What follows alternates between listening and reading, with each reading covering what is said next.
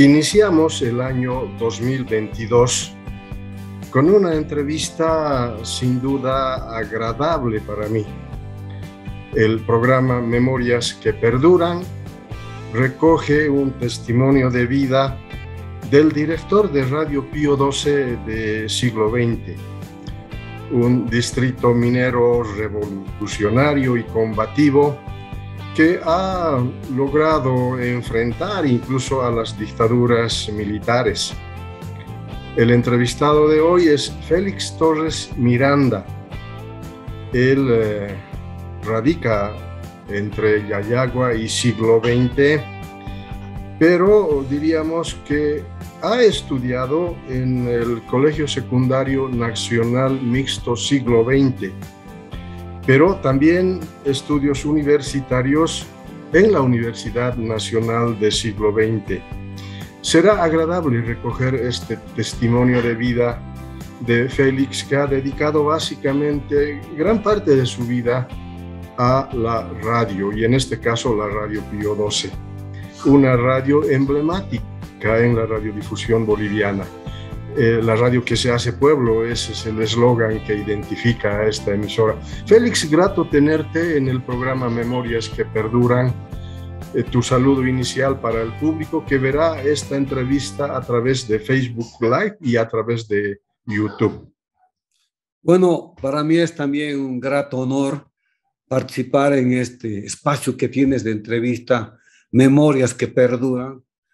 A Constantino nos conocemos hace tiempo, y nuestra trayectoria que tú mencionabas eh, es largo porque yo he nacido acá en el siglo XX, he estudiado aquí en las escuelas de Comibol, en la escuela número 6, 5, 6 de junio, en el intermedio Bolivia y después en el colegio Junín y en el colegio siglo XX.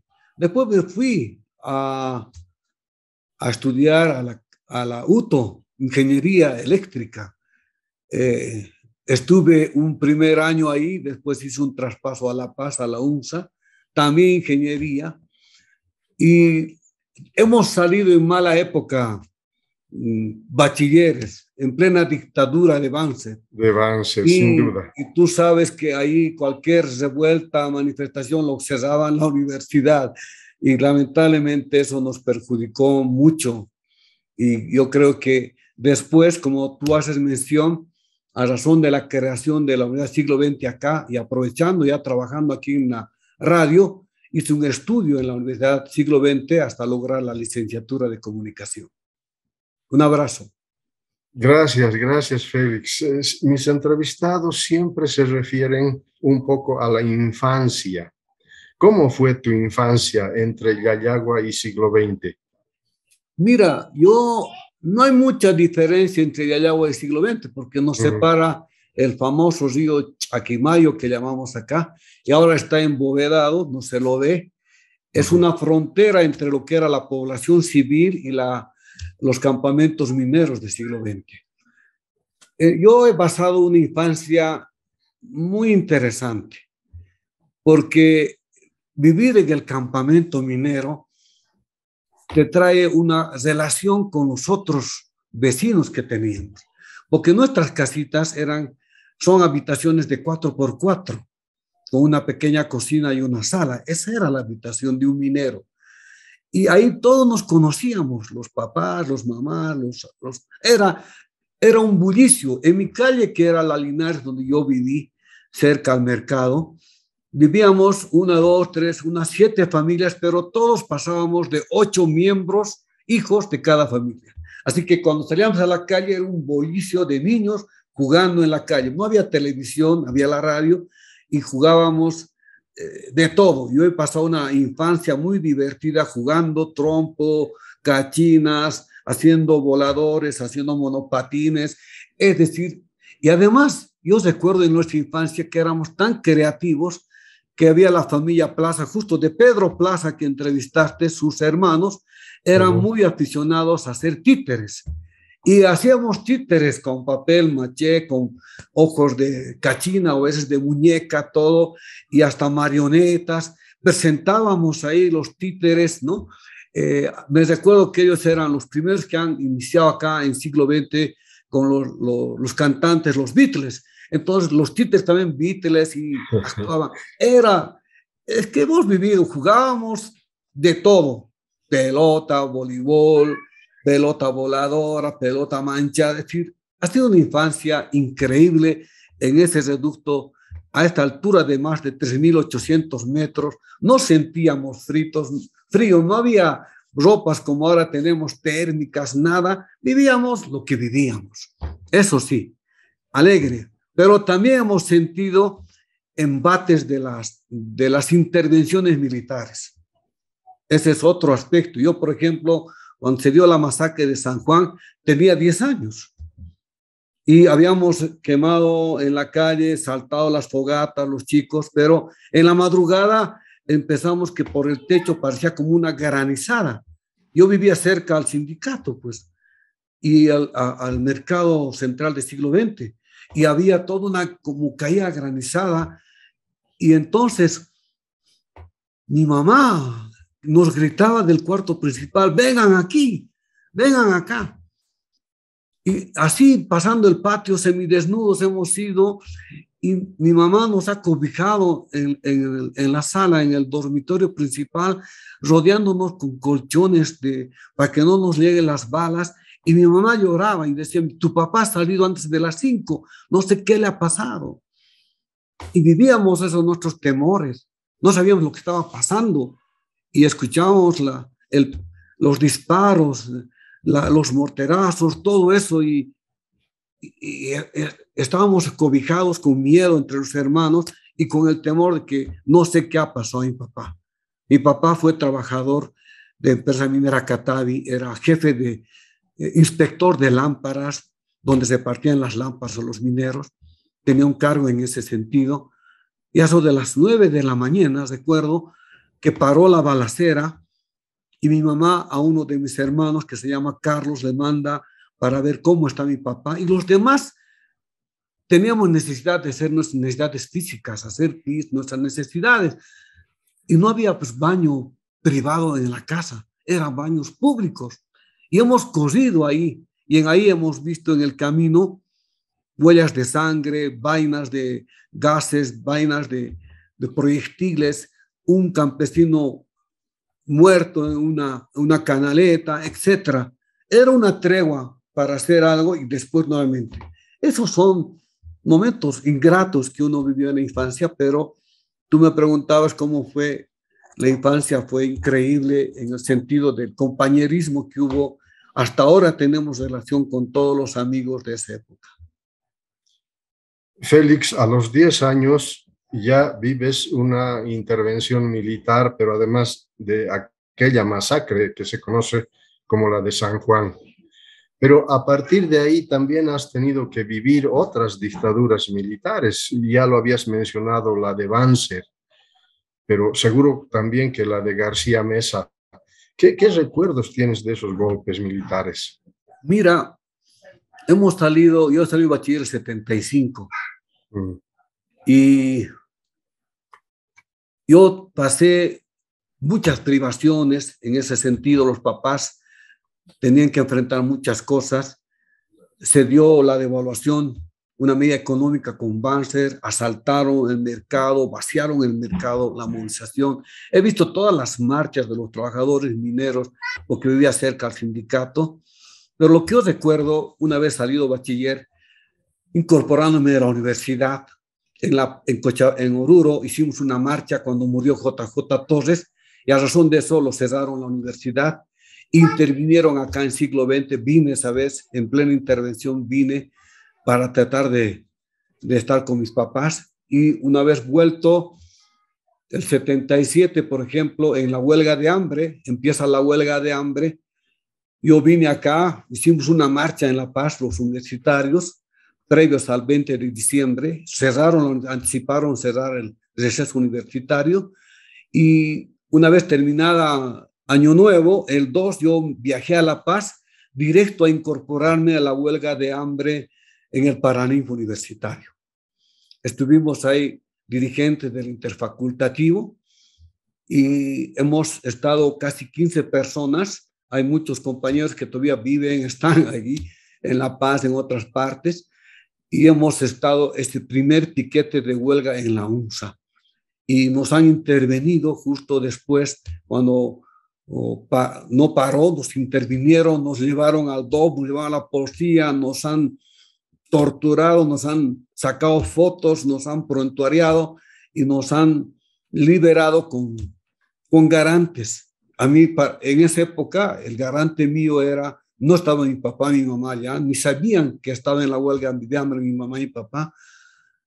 Eh, el embajador de, de, eh, de, Venezuela fue mi garante para que salga yo libre de ahí. Eso fue eh, una experiencia terrible. Y creamos en la UNSA el Centro de Estudiantes Mineros. Ese centro ayudó a la creación de la universidad.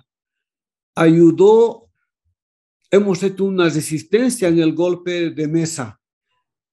Hemos captado la cadena minera y sabíamos transcribir y poligrafiar, no copiar en stencil en una maquinita portátil los panfletos para informar en La Paz de lo que estaba pasando a nivel de los distritos mineros, porque la cadena, las radios han sido intervenidas y nosotros con un grupo de compañeros, entre 15 compañeros que nos hemos ido a vivir en mi cuarto esa vez, era un cuarto un poquito grande, dormíamos ahí, comíamos ahí y nos informábamos de la cadena minera. Y ahí un compañero se dedicaba a transcribir y nosotros nos preparábamos para la alimentación, para ir a panfletear en plena en pleno golpe en la Garita de Lima, en la Buenos Aires, en la Pérez Velasco, nos hemos organizado de tal manera para apoyar a nuestros papás aquí.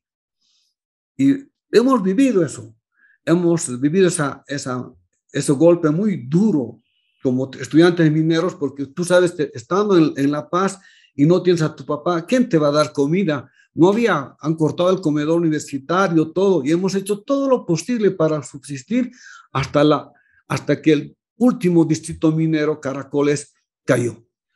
Hasta ahí hemos informado. Y después yo no tenía pisada acá en el siglo XX, mis compañeros tuvieron que volver, estábamos en la lista negra, como dicen esa vez, y yo llegué recién casi a fin de año al siglo XX. Félix, ¿eso significa que has estado también en el exilio? No, no he tenido, estábamos a punto, pero la amnistía política nos salvó nos salvó de esa vez, pero hemos eh, estado muy ligados. Yo te contaría en las jornadas de marzo que hemos vivido, el Centro de Estudiantes Mineros preparó que el comedor universitario pueda dar sus, su alimento a los mineros, hemos convivido con ellos las jornadas, marchábamos junto con ellos, nos han gasificado con ellos, hemos vivido todo eso los estudiantes mineros eh, esa vez. Ahí también se formó el MUJA, el movimiento universitario Julián Apaza, que después va, va a empezar a tener un papel muy importante del lado indígena. Los fabriles tenían su organización. Ahí nos hemos, yo le conocí ahí a Pablo Ramos en el rectorado, ¿no? Eh, justo hemos también nos hemos involucrado en la creación de la universidad. Yo participé un encuentro universitario en, Sucre, cuando Lidia Gayler, y ahí se aprobaron un, un voto de apoyo para la creación de la unidad siglo XX. Y lamentablemente cayó todo esto. Después hemos hecho actividad en el atrio de la unidad para concientizar la necesidad de, de, de, una universidad. Y justo con José Pimentel después, con Cirilo Jiménez, todo eso, nos hemos éramos voluntarios. Había una oficina primero que se trabajó en la, de la Universidad Nacional Siglo XX, en la calle 20 de octubre, donde era, trabajaba antes FENCOMIN. Ahí hemos trabajado con, con Sandoval, ¿no? con Cirilo, y una vez que se aprobó, justo en el tiempo de, de aprobar el decreto Siles Suazo del 85, habíamos viajado una delegación de bolivianos a, a, la Unión Soviética, a, Moscú. Era presidente de, esta delegación Pablo Ramos y había muchos amigos eh, de entonces éramos 45 activistas políticos, artistas, de todo, que hemos viajado representando al país a un encuentro mundial de jóvenes, estudiantes y trabajadores. Y justo en esa época se creó la universidad. Yo no estuve eh, en ese momento, pero llegando, eh, me falté a esa cita de tanto trabajo que hemos hecho y Cirilo Jiménez me, me pidió que pudiera diseñar el escudo de la universidad. Yo soy además artista uh, y dibujé el escudo de la unidad siglo XX. Y lo digo, y siempre en los testimonios que tengo, ese escudo fue dibujado en Pulacayo, porque mi actual esposa estaba haciendo el primer año de profesora en Pulacayo, en la escuela José María Solá. Y en ese distrito dibujé el primer borrador, el diseño de lo que es el actual escudo de la unidad siglo XX y llegando de Pulacayo, presenté el diseño, eh, me dijeron en la imprenta que sea negativo, es con tinta negra. Yo no tenía ni grafo ni nada, una pluma de tinta con aristón. Empecé a dibujar en la noche a pulso, todo. Ahora existe mucha, mucha máquina para poder hacer eso. Y llevé eso, llevamos, a razón de eso se imprimió el primer sello el primer sello seco de la unidad siglo XX con el escudo y eso quedó como el escudo de la unidad siglo XX. Esa es una de las cosas que, que mucha gente no sabe, pero que lo decimos ahora. Félix, ¿cuáles son los antecedentes de la creación de la Universidad Nacional del siglo XX? Sabemos que estuvieron ya discutiendo esta temática en el Congreso Minero de Telamayo, y finalmente, tal parece que fue en el Congreso Minero de Huanuni, donde se aprobó unánimemente para impulsar la creación de la universidad. Bueno, recogiendo historia, esta ambición de tener de los trabajadores mineros una unidad data de la década del 60. Hay un primer documento del Partido Obrero Revolucionario como una propuesta de una unidad obrera y después ya en los diferentes congresos se discutió de crear la universidad. Eh, en toda la década del 70, los congresos que hubo, clandestinos o no, todo esto una lucha para poder hacer. Nosotros como estudiantes mineros teníamos que salir a estudiar azúcar, todo era terrible y teníamos que nos papás pagar. Tú mismo has debido pasar eso como estudiante de la, de la zona sur, ¿no?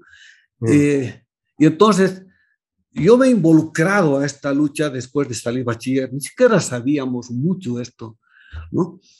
Pero una vez tomando en cuenta que hay la necesidad, había la reunión de los secretarios de cultura de los sindicatos con Fort y todo eso, para proponer eh, no solamente crear actividades culturales, sino crear una universidad obrera con los, con los lineamientos de la clase obrera. Y eso fue aprobado en los congresos de tal manera que fue un anhelo siempre poder hacerlo.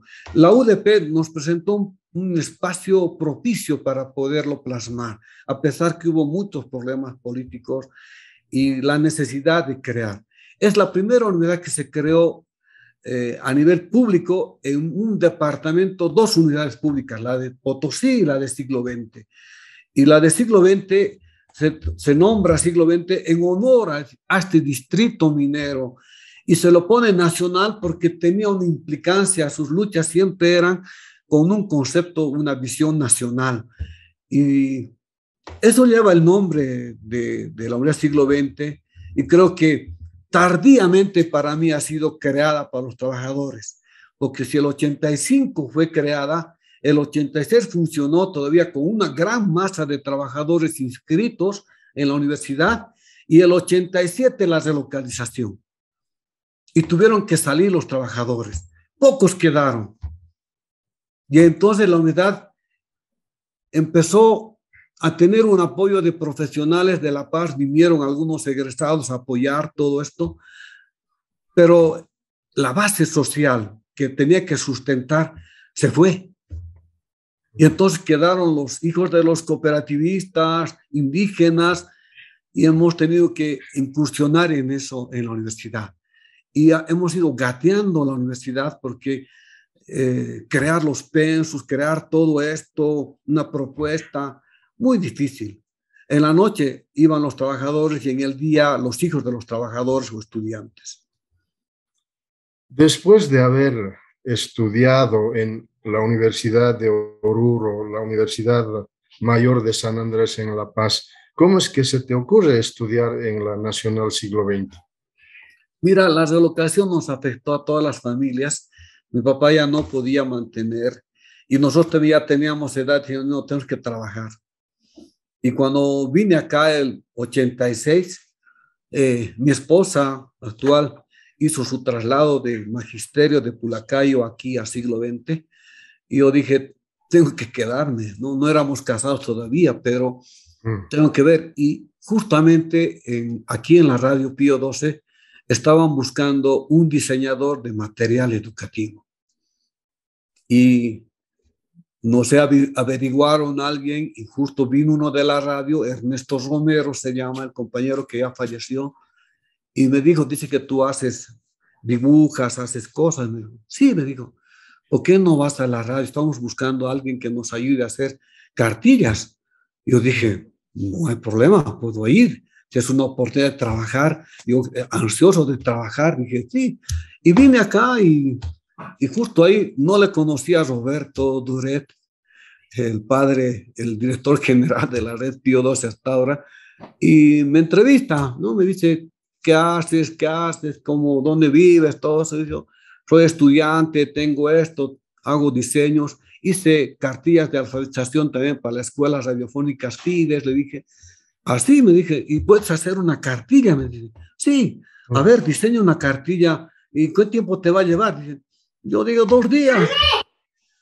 Dos días me va a llevar la, el diseño, le dije. En verdad, me dice, a ver, sobre las amas de casa, me dice, del comité. Y bueno, y entonces yo fui a mi casa, me puse a diseñar el dibujo, como conocer la historia de Domitila, de las amas de casa, todo. Dibujé todo y le traje un, diseño borrador. Y le dije, Roberto, padre, aquí tiene diseño. Y vio, me dijo, bien, entonces, ¿sabes qué? No está aquí el responsable de tal, volvete este lunes. Y volví y justo me dijo, queremos que trabajes. Y de esa manera me incorporé a la radio en el equipo de educación para hacer material educativo.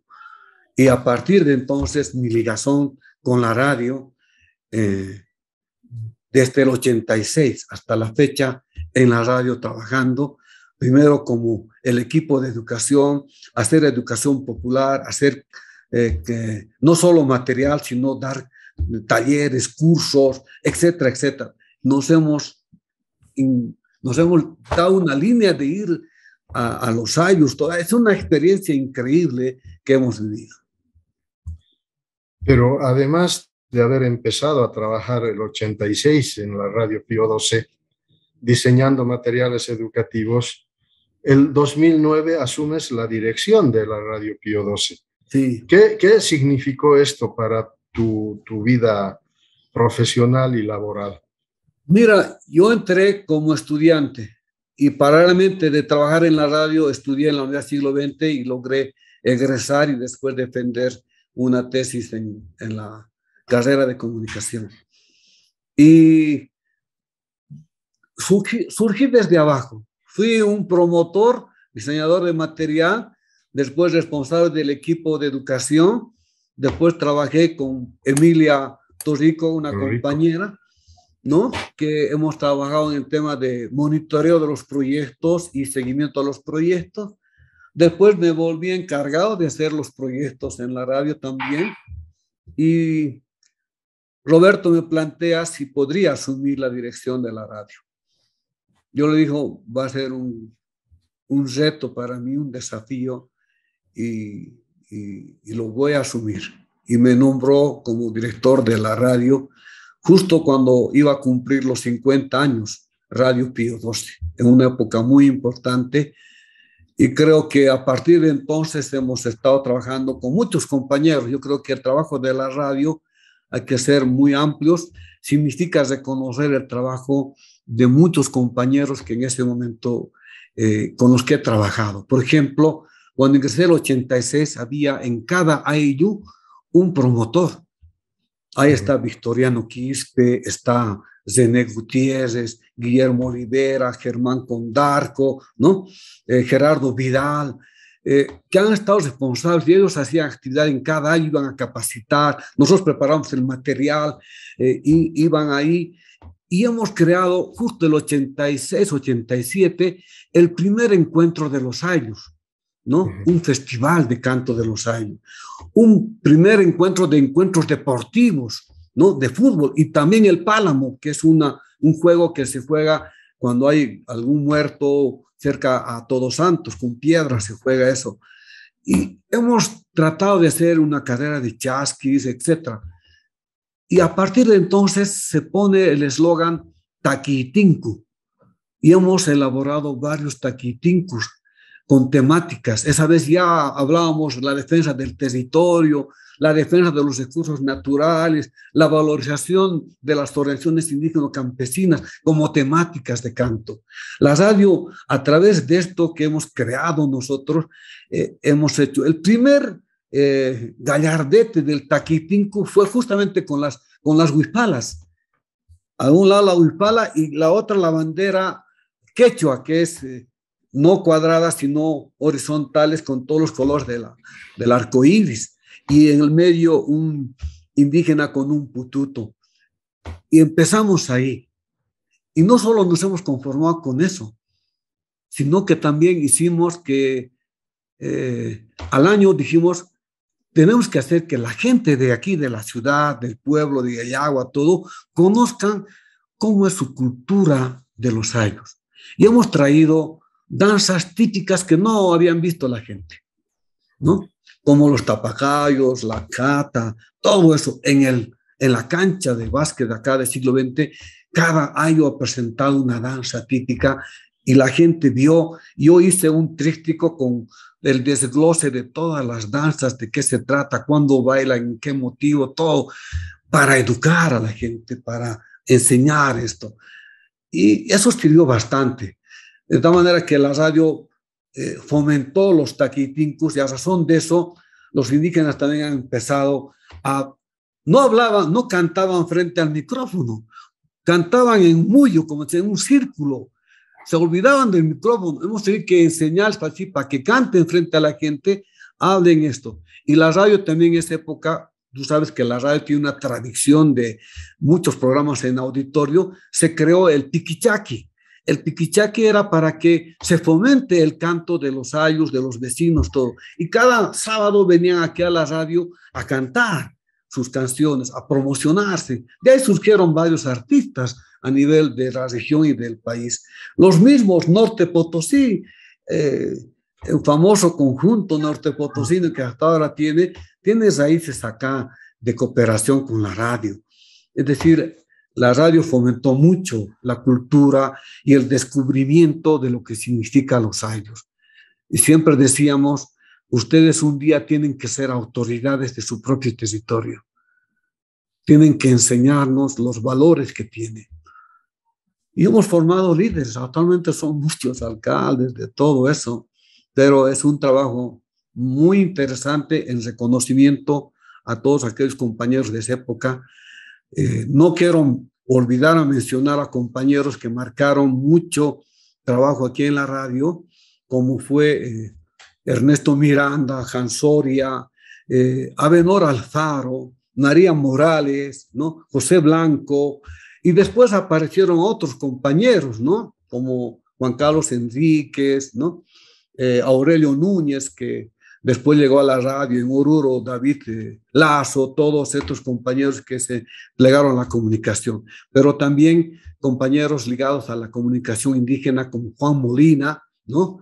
Eh, estaba, mm, mm, ¿cómo se llama? Eduardo Mariscal, que también murió ¿no? el año pasado, eh, Ojeda, tantos compañeros que pasaron y cada uno desde donde teníamos nuestra habilidad.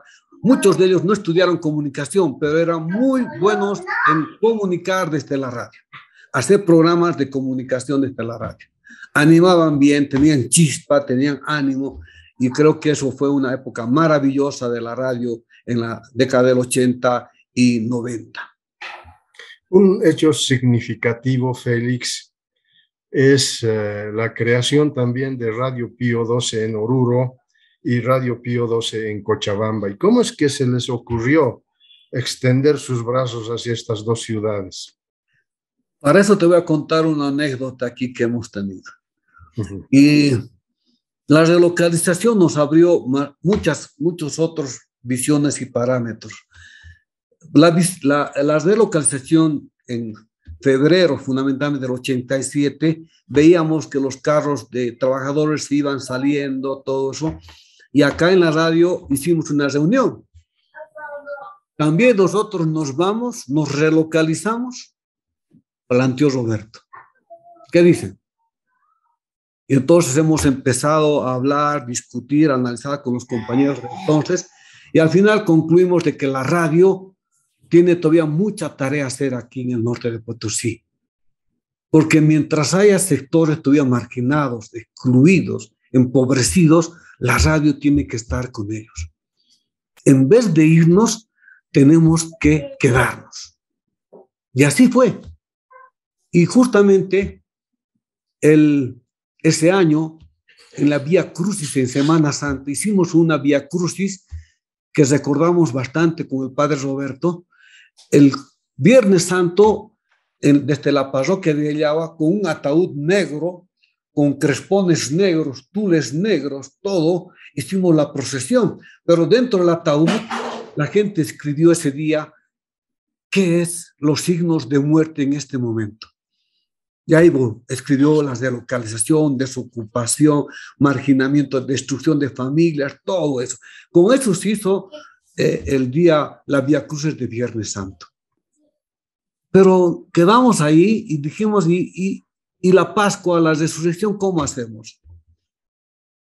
Roberto craneó, pensó y el día sábado acá dijimos, bueno, ¿por qué no usamos el mismo ataúd con telas blancas, todo lleno de flores y vamos a hacer misa allá al desmonte, allá al frente? Bueno, hicimos eso, eh, preparamos eso y justo ahí también se ocurre a Roberto decir, necesitamos un Jesús resucitado, que en el medio esté caminando el pueblo. ¿Puedes dibujar, Félix? Sí, yo dije, puedo hacerlo. Entonces me puse a trabajar todo el día y toda la noche, hasta que en la madrugada del domingo tenía el cuadro pintado de un Jesús, ese Jesús que maneja José Ignacio López Vigil, el moreno, con cuerpo entero, y en el medio el pueblo caminando, sonriendo, y, llevé eso con un, me hice ayudar con un campesinito ahí, porque con el cuadro hasta el templo. Y marchamos ahí. Y en la plena misa de celebración de Pascua, Roberto se le ocurrió decir, bueno, ¿por qué nos dicen que aquí esta mina se está muriendo, yo creo que hay más vida en esta mina. ¿Por qué no sembramos las flores en el desmonte? Y entonces hicimos que todos agarren. Una flor y empiecen a llevar al desmonte, a las piedras y a poner, a plantarlo. Y toda la gente que estuvimos pusimos flores en el desmonte, como un signo de vida, como un signo de esperanza. Eso también nos dio luces posteriormente a decir cómo podemos ayudar a nuestra gente a tener esperanza, a tener vida. Y se ocurrió de que tendríamos que tener presencia en la capital de Potosí, porque nosotros estamos en la provincia y no tenemos una radio que haga escuchar las voces del norte Potosí eh, en la capital del departamento. Y empezamos a pensar, Roberto, el padre Guillermo, todos los que estaban ahí, decir, pondremos una radio ahí. Lamentablemente no se pudo en Potosí porque se llegó tarde a la licitación de una frecuencia y, y eso se llevó a, Cochabamba, ¿no? En Cochabamba después. Pero la radio de Oruro tuvo uh, una trayectoria. No se empezó con radio, sino se empezó con una oficina uh, de trabajo como presencia de la radio frente a la pastoral, eh, con el hermano Gilberto Power, eh, derechos humanos, todo, y ahí estaba Eduardo Mariscal, después Abenor Alfaro, empezaron a hacer un, a, sembrar un poquito las ideas y después tener la necesidad de tener una radio. Y la radio se logró instalarlo y desde esa fecha, mm, desde el 80 y 97, la radio funciona en Oruro, realmente con una presencia muy importante eh, del trabajo que se ha llevado a cabo. Entonces, y no nos hemos quedado ahí. Tenemos radios ya en Oruro, en Cochabamba, pero acá dijimos, necesitamos que eh, desde las capitales de los municipios, los pueblos también se comuniquen. ¿Por qué no hacemos una red de radios municipales, como se llama? Y hemos creado un pequeño proyecto y tuvimos una radio en San Pedro, en Torotoro, en Zacaca y en Pucuata, para que los alcaldes dialoguen, para que los dirigentes dialoguen las cosas que hacen lo positivo. Y la radio se volvió más. Teníamos cuatro radios aparte de aquí en los municipios y dos radios en las capitales de Cochabamba y Oruro. Esa era la red Pío 12, para darle fuerza, para darle eh, poder a la, gente de abajo para que hable conjunto con sus autoridades lo que hacen y lo que viven. Eso hicimos. Félix, a mí me tocó visitar precisamente estas radios que mencionas en Zacaca, en San Pedro de Buenavista, en Torotoro, en Pocoata. Una experiencia realmente interesante. ¿Cómo es que se les ocurrió además seguir extendiendo esos brazos hacia estas, eh, a estos pueblos que sin duda congregan también la actividad cotidiana del área rural. Que nosotros pensamos que la radio, tanto la onda media y corta, eh, llega a muchos lugares, pero también no. Pero también necesitan tener una radio local que hable de su pueblo mismo, que tenga un programa que refleje su cotidianidad de cada municipio y después el ponernos en red para contarnos lo que cada municipio hace. Eh, y no solo eso, sino seguir haciendo educación popular, seguir haciendo lo que llamamos posalfabetización. Otra idea brillante que, que nos ocurrió es hacer escuela del aire. Eh, es una alfabetización en torno a las leyes, justamente de participación popular y todo eso, la gente no sabía. Y entonces hemos creado microprogramas tipo novela, un alcalde, un control social, una junta vecinal, todo eso, la discusión en el vecindario, todo eso, y ligada a la ley. Y decíamos, ¿qué piensan ustedes de esto? ¿no? Pasa esto en tu municipio, sucede eso, el alcalde se preocupa, ¿no? El dirigente cumple. Algunos se han sentido aludidos porque estábamos reflejando lo que veíamos, ¿no? Lo, que hacía un alcalde, un dirigente, decía, me están diciendo a mí, ¿no? Pero ponlo de lado positivo, esto es educativo y la gente empezó a tomar conciencia de la intervención en la alcaldía y todo. Y eso había que comunicar por la red y contaban. Y hemos apoyado proyectos de iniciativas productivas, hemos hecho que los niños participen, canten en su propio municipio, jóvenes participen en la comunicación voluntariamente. Fue una experiencia interesante. Eh, existe eh, escrito eh, un gran borrador de esta experiencia. ojalá lo podamos publicar como una, una propuesta de comunicación muy interesante de la escuela al aire y de la red de Radios Pío 12.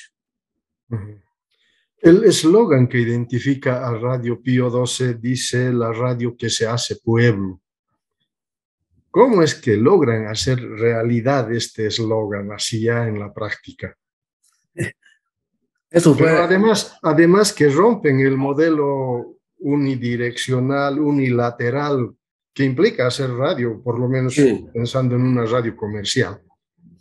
Yo creo que la radio tiene una historia desde la década del 60 de empezar a penetrar y, involucrarse en el pueblo, tanto minero, indígena. Y ahí están las novelas famosas de Froilán Sánchez y de Víctor mm, Fernández Coca, Ulala, que refleja la realidad de estos pueblos y, y caminar, porque tú sabes, la, el primer eslogan era la radio de la onda azul, ¿no? Radio de la familia boliviana.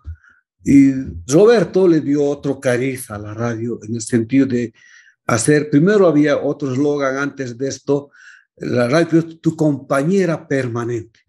Y eso lo creo que vamos a rescatarlo con más fuerza también, porque al final, donde esté la radio, siempre acompaña. Y eso es fuerte. Pero Roberto, justo tal vez, no sé con qué compañeros más empezaron a ver cómo podríamos tener un eslogan a nivel de la red Pío 12. Y entonces se los ocurrió por varias cosas decir que sea la radio que se hace pueblo, porque la radio nosotros estamos de cerca, porque la metodología de ser radio eh, en la red Pío 12 no es, es quedarnos en el micrófono, encerrados en un estudio, sino ir a la calle, ir al lugar donde está la gente, golpear las puertas de los, de los campamentos, visitar las comunidades, hablar en el, en el mercado, hablar con todo. Y en ahí sí nos hacemos pueblo. Ahí estamos en, sus, en su problemática, en sus causas que llamamos nosotros. Tenemos que empujar la radio, las causas del pueblo. ¿Qué este año vamos a empujar? Nos planteamos. Bueno, este año empujaremos, por ejemplo, agua potable. Todos necesitan agua potable. Esa es la causa. Eso es hacernos pueblo con ellos. Sí, entonces nos metemos a esto y hemos hecho todo un trabajo de tema de, del agua. El tema de la basura igual. Tú sabes que hemos creado y allá va, eh, te quiero limpia, como eslogan. En el templo, y decíamos eh, con Roberto justamente, la, fiesta de Asunción tiene que servir no solamente para bailar, sino tiene que servir para que celebremos junto con el pueblo una obra que hemos hecho, junto con ellos. Y una vez discutimos en el templo de Yayagua con el padre José Ayala, con autoridades, dirigentes, este año, ¿qué vamos a trabajar hasta el 15 de agosto? Y hemos hecho una dinámica de tarjetas, hemos hecho nube de problemas y salió ahí una gran nube, la basura. Entonces, atacaremos la basura.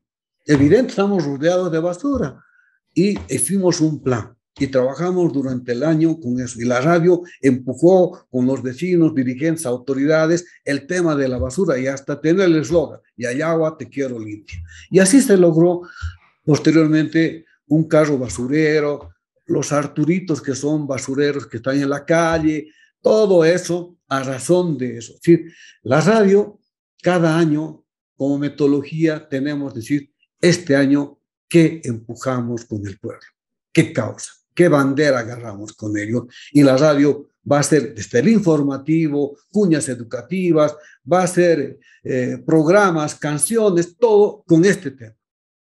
Y así hemos ido trabajando durante muchos años con diferentes causas.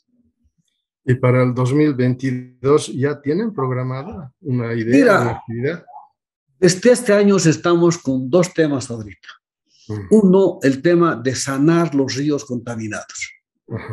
Una tarea muy complicada, difícil, porque los, si bien estas, estas, estos cerros mineralizados, como Intijaljata o Espíritu Santo aquí en Yayagua, que dio fortuna a Patiño, que dio trabajo en la Comibol y ahora a los cooperativistas, una vez que le han herido sus entrañas, sale Copaquina se rescata el estaño, pero hay algo de contaminación. Y contaminó durante más de 100 años. Y nosotros hemos sido ciegos, no hemos visto, estando aquí no hemos visto esa dimensión de la contaminación. Igual el cero hermoso de Colquechaca daña el valle de Macha, y todo eso con agua contaminada. Y entonces dijimos, ¿por qué no Ayudamos a esta gente que está reclamando que no contaminen sus, sus, ríos en Machapocuata y les ayudamos. Ahí nos hemos involucrado en Machapocuata para curar eh, el río. Y con Roberto, con el equipo, María Morales, Juan Carlos Enríquez, Gilbert, todos, Yolanda Choque, eh, hemos ido pues a hacer eh, cursos, seminarios en Macha, hemos convocado a las autoridades, les hemos hecho sentar adelante para que se comprometan cómo podemos solucionar esto. No basta la, la ley madre tierra, respeto a la Pachamama, sino hay que plasmarlo. Y entonces les hemos involucrado y fruto de eso, en Machapocuata se elaboró un proyecto integral, ¿no? De solucionar la contaminación. Pero ahí hemos visto que falta a veces voluntad política de autoridades de la gobernación, de los ministerios, que a veces son muy teóricos, teóricos rotundos, que no pisan en la problemática del indígena, del campesino, del minero. Y desde esa época todavía seguimos con esta causa de empujar cómo vamos a sanar la contaminación. Y justamente ahorita estamos con comités de defensa del medio ambiente, donde participan indígenas, cooperativistas, autoridades, todo, y están elaborando proyectos ahorita, perfiles de proyectos para Chuquiuta, para aquí, para Yayagua, la cuenca del río Chayanta. Este río Chayanta desemboca en el Chapare y llega a la Amazonía. Desemboca en, en el río Amazonas, este, estas aguas de acá. Entonces, esta es una tarea muy difícil que hemos logrado. Entonces, vamos a seguir este año que viene más empujando porque no está terminada esta tarea. Y otra tarea que estamos haciendo paralelamente es eh, ya dos años, este va a ser el tercer año, para ver cómo hacemos que los papás, los estudiantes y los profesores tengan mejor participación y una amplia democracia en la educación cómo mejorar nuestra educación. Y entonces hemos hecho una serie de cartillas, talleres, nos ha pillado la pandemia en este proyecto y así mismo hemos ido trabajando semipresencial, virtual, presencial. La gente aquí ha perdido el miedo a eso y nos pedía presencial y nos hemos arriesgado eso. Algunos hemos caído también en esto, pero Queremos que nuestra educación responda a la realidad de nuestro municipio, de nuestra región y del país. Y queremos que los estudiantes potencien sus gobiernos estudiantiles para que discutan como quieren. Los papás también no solo critiquen a los profesores que esto, que lo otro, sino que también sean parte de la problemática en la responsabilidad, porque el papá tiene responsabilidad. Yo decía, la calidad educativa empieza por tener papás de calidad. Mm. La calidad educativa empieza por tener también autoridades de calidad. La, eh, la calidad educativa tiene eh, estudiantes y profesores de calidad. ¿Y cómo vamos a lograr eso? Reuniéndonos, discutiendo, haciendo un plan y atacar eso todos juntos. Desde dirección digital, direcciones, personal, juntas, y, la radio, un programa desde la radio para que ayude esto. ¿no? Y eso hemos hecho durante estos dos años en tema de educación. Félix, Hay muchas eh, cosas. Félix, varias veces te refieres a Roberto.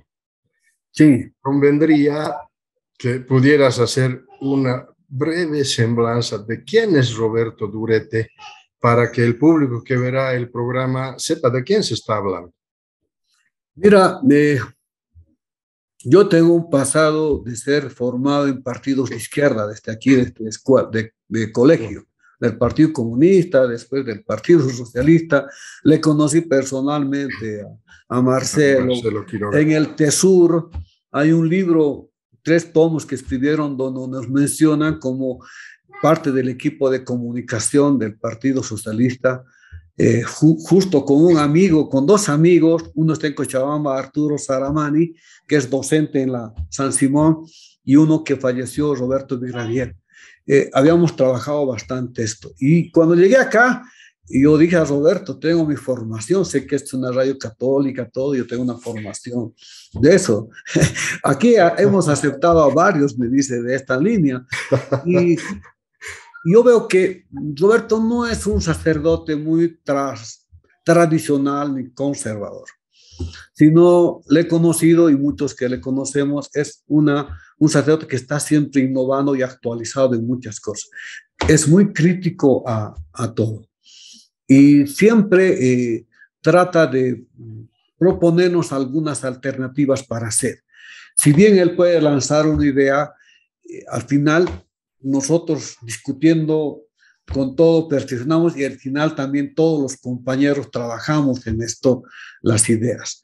Entonces, eh, Roberto es de, nacionalidad norteamericana, ¿no? Él se formó en los Oblatos, en el seminario en Estados Unidos, llegó acá en la década del 60, el 62, si no me equivoco, en pleno problema, mm, cuando hubo después el enfrentamiento en Irupata con Neri y los sindicatos del siglo XX, hubo un, enfrentamiento ahí, murieron años y él estuvo de párroco esa vez en Catavi y se sorprendió ver cadáveres en el hospital muertos, heridos, todo eso. Y él empezó a entender que este país tan complicado, nuestro país, que se matan, que existe inestabilidad política, todo.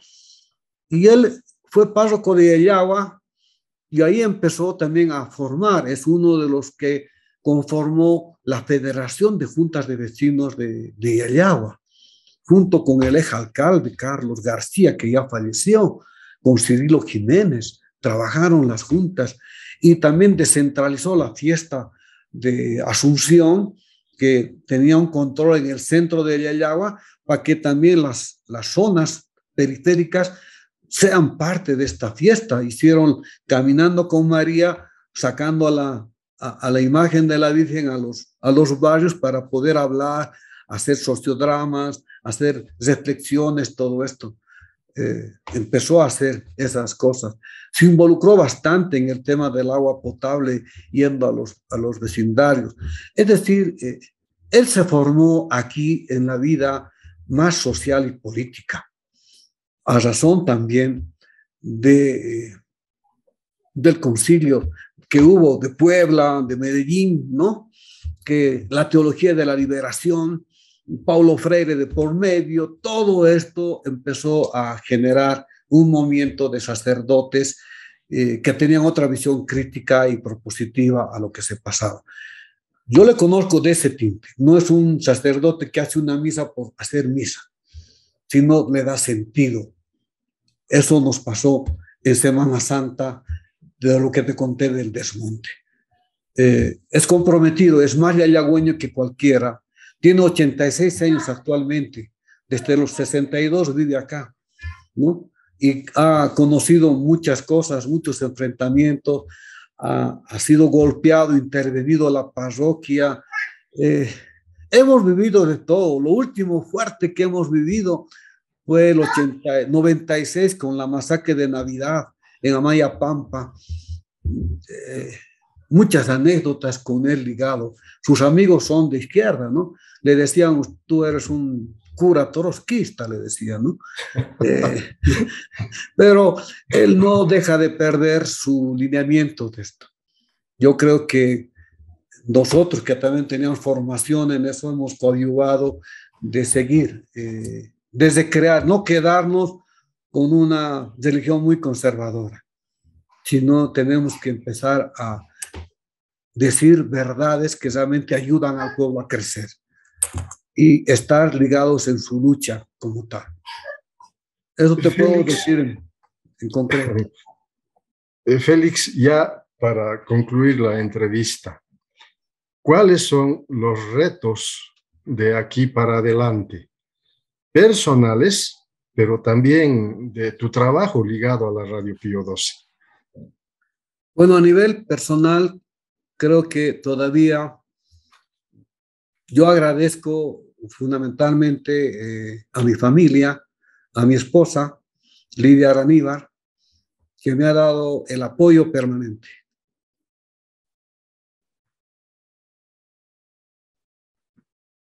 Su apoyo fue de ser militante en el trabajo que hago. de comprender el trabajo que hago. Y, y mi hijo, que está en Cochabamba, que es una razón de, de vivir, de existir como persona. Y creo que nosotros todavía no, hemos, no nos hemos cansado de, de hacer. Está en, en, plano poder publicar unos libros como reto ligado a la radio y ligada también a la experiencia familiar. Eh, hay una novela que está en curso ligada a mi mamá, mi papá, migrantes en este lado y estamos avanzando esto, creo que vamos a publicarlo.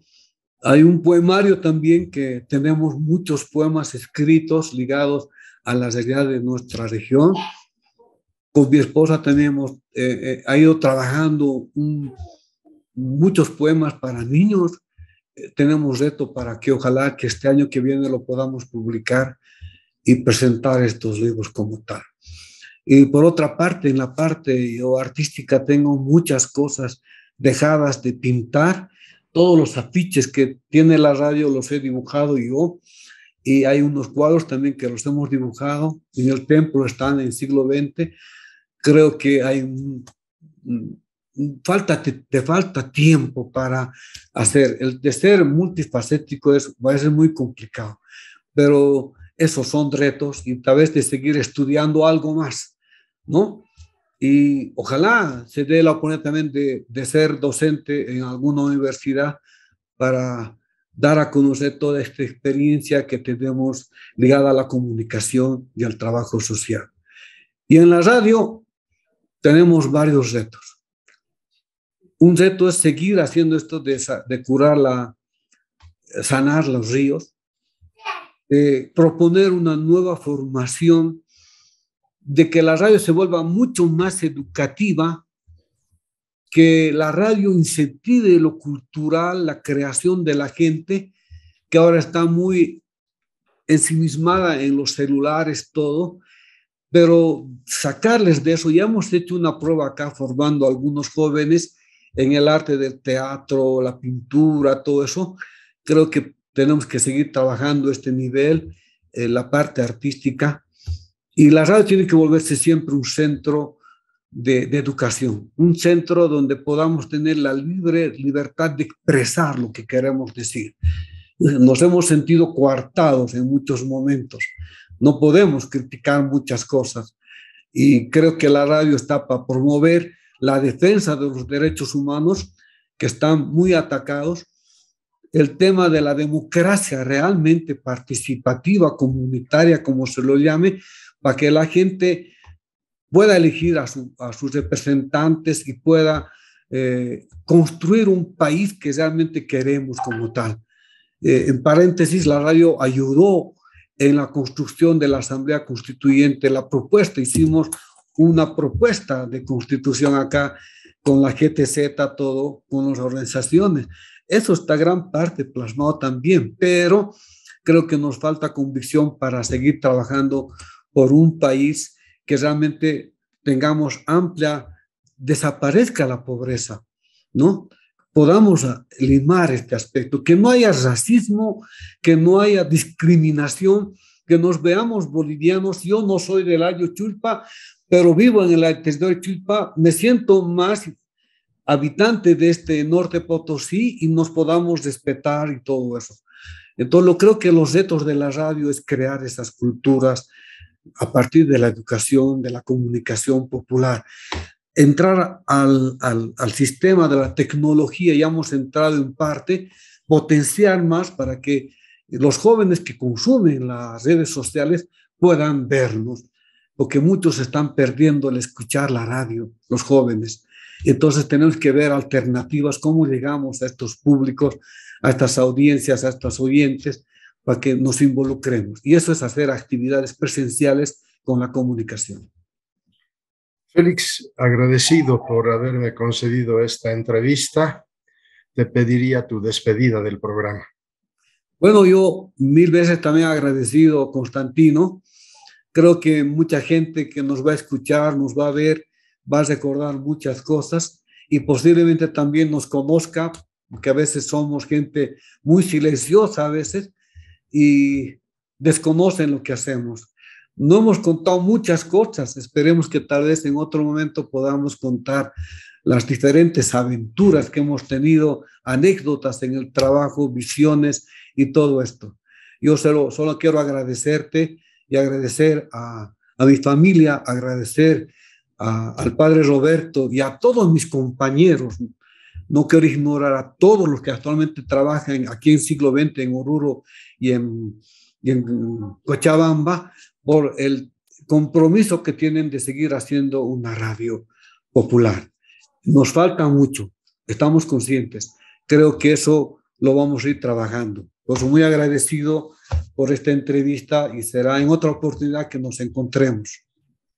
Muchas gracias. Gracias, gracias Félix. Ha sido grato conversar contigo y recoger una parte de una semblanza de vida que por supuesto tiene muchísimas anécdotas y experiencias del trabajo que has desarrollado en la Radio Pío 12. Eh, grato saber que estás dirigiendo la Radio Pío 12 como un apasionado de la radio, como un personaje que rompe el modelo unidireccional para contactarse con el público, tanto minero como el público campesino, que en realidad es la razón de vida ahora de la Radio Pío 12. Y ese eslogan de la radio que se hace pueblo se la pone en práctica, no es solo un discurso, es una práctica permanente de estar en contacto con el público que escucha la radio.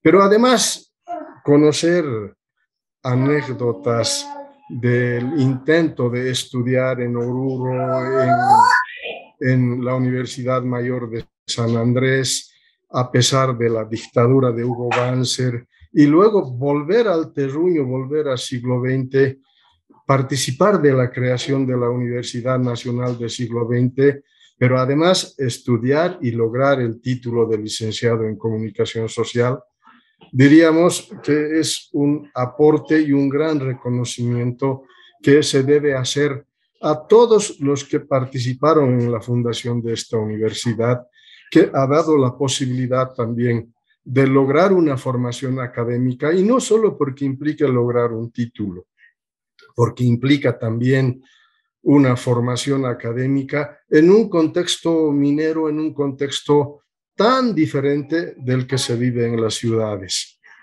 Eh, bueno, ya había señalado que en esta semblanza no está todo.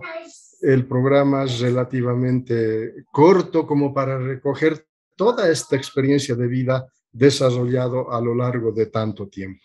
Gracias, Félix. Ha sido grato conversar contigo. Igualmente. Un abrazo. Muchas gracias y un abrazo igual. Y que tengas un buen año 2022, toda tu familia. Un abrazo a todos. Bueno, y, y este mes es eh, tus cumpleaños, el 23 de enero. Sí. Un, añito más que se suma en esta vida de, de ducha, de compromiso, de entrega eh, en el trabajo que estás desarrollando. Felicidades y un abrazo. Gracias. Hasta pronto. Hasta pronto. Chao, chao.